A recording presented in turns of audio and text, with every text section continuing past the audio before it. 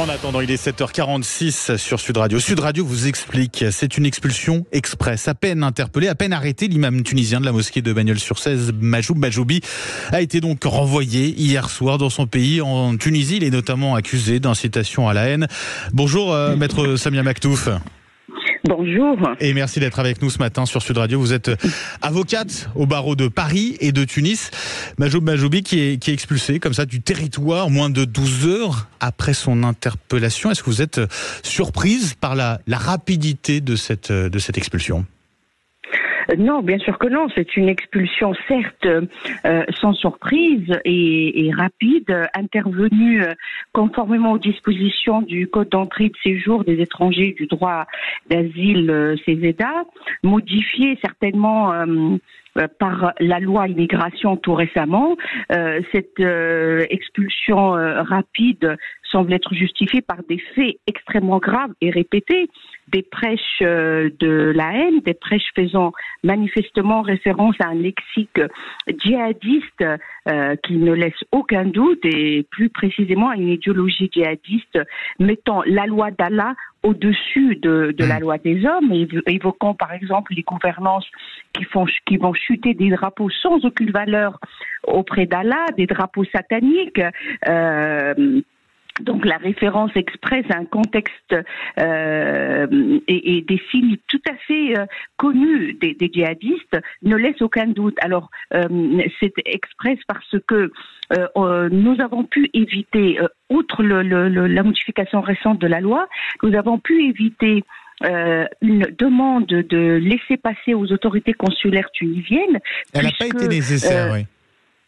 Oui, elle n'a pas été nécessaire parce que les forces de police disposaient du passeport du hmm. passeport de cet imam euh, pour euh, emprunter un avion et pour que les forces de l'ordre puissent expulser cette personne comme étant quelqu'un euh, représentant un danger à l'ordre public, il fallait euh, une pièce d'identité. Cette pièce d'identité, du fait de la visite rendue possible par la loi dans euh, le domicile de, de cet imam, le passeport est entre les mains de la police. Donc, il suffisait de l'emmener à l'aéroport, de le faire emprunter à un avion. Hmm. Donc, euh, c'est ce que. Oui, donc ça, ça, veut dire très clairement qu'on avait l'identité, on, on, savait qu'il était très clairement, et, c'est ce qui a joué, c'est ce qui a permis finalement de, de l'expulser ici sans avoir euh, besoin de passer par, par un laissez-passer consulaire, en l'occurrence de la part de, de la Tunisie. L'avocat de Majoub Majoubi avait annoncé sa volonté de contester l'arrêté d'expulsion. Sur quoi peut-il déboucher maintenant qu'il a été euh, effectivement renvoyé du, du, territoire français? C'est quoi la suite là? Euh, D'abord, dans, dans, un état de droit tel que la France, c'est tout à fait normal et logique et, et, et, justifié, et je ne peux que m'en réjouir en tant qu'avocate. Mmh. Euh, en revanche, ce recours n'est pas suspensif. Euh, cet avocat pourra étayer tous les faits pour euh, contredire et, et essayer de, de, de prouver qu'il ne s'agit pas de lapsus, alors que euh, tel que les, il ressort du dossier, ce n'est pas que sur la base d'un tweet que cette personne a été renvoyée, mais sur la base de différentes, euh, différentes de prêches, prêches, depuis mmh. plusieurs prêches mmh. suivies par les, nos services de renseignement. Aujourd'hui, euh, bien sûr qu'il va évoquer euh, l'article 8 de la Convention européenne des droits de l'homme, le respect euh, euh de la vie privée, vie familiale. En revanche, ce respect que nous, que notre État de droit met toujours en avant, ne peut pas aller à l'encontre du danger que représente cette personne. Et ce danger semble être manifeste prouvé et en tout cas l'État dispose d'éléments pour pour le, le, le prouver. Donc c'est-à-dire que oui, le danger c'est qu'il devienne un, un, un, vecteur de, de radicalisation de, de, plus, plus grave encore, non seulement de radicalisation, mais constitue un danger pour euh, la société, puisque c'est mmh. quelqu'un qui, euh, dans ses prêches, il appelle, d'ailleurs, il y a deux procédures ouvertes à son encontre qui sont en cours, une euh, incitation à la haine et l'apologie du terrorisme. Donc, euh, plus rien ne s'opposait à cette euh, expulsion rapide, et, et, le plus rapide était le, le, le, le mieux pour notre société, en tout cas.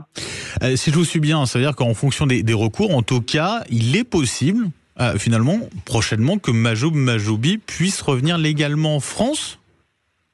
Dans l'absolu, oui, mais euh, encore faut-il que le, le, le conseil euh, de cet imam arrive à apporter la preuve que tout ce qui a été avancé et le dossier dont dispose le ministre ministère de l'Intérieur Hmm. est, est- est- est fallacieux et qui ne repose sur aucun fait euh, de nature à, euh, à étayer sa radicalité et par conséquent sa, euh, sa, sa dangerosité. Et je voudrais juste rajouter que euh, cette expulsion express euh, vient comme une réponse aussi à l'échec face à l'imam, à l'imam Equisen. Donc il fallait, euh, je pense, je pense que c'était aussi une, une réponse pour dire voilà, on va agir avant Et c'est un message envoyé finalement à-. C'est un message envoyé finalement aux imams qui seraient susceptibles de d'avoir les, les mêmes types de prêches, quoi. C'est ça aussi l'utilité. Tout, tout- tout à fait. De toute façon, la, la loi milite dans ce sens-là. Et si des certains imams euh, tels que euh, cet imam n'a pas encore compris le message, il serait temps que ça soit compris. Et, et, et c'est, c'est une alerte pour tout le monde parce qu'il n'est pas concevable que des, des messages de haine et, et des prêches de cette nature puissent être euh, dits euh, sur euh, un, un- un territoire Hmm. laïque tel que la France. Samem Aktouf, en, en- en un mot, si je vous suis bien aussi de ce que vous avez dit précédemment, la loi immigration, la récente loi immigration, a permis, notamment, en tout cas en partie, euh, eh d'avoir cette expulsion express? Oui, tout à fait, puisqu'elle est venue renforcer des dispositions de notre CESEDA par les assignations à résidence, euh, par euh, la possibilité de mettre hors d'état de nuire. Oui, elle est euh, très exactement venue renforcer le dispositif de notre code d'entrée et de séjour des étrangers, tout à fait. Merci beaucoup, maître Samia Maktouf, d'avoir été avec nous ce matin sur Sud Radio. Merci pour toutes ces explications Merci. très claires. hein. Je rappelle, vous êtes avocate au barreau de Paris et de Tunis. 7h53 sur euh, Sud Radio. Un, petit peu, une petite page de pub et puis on revient dans un instant avec quelqu'un qu'on connaît bien sur Sud Radio, Vincent Fernu. À tout de suite.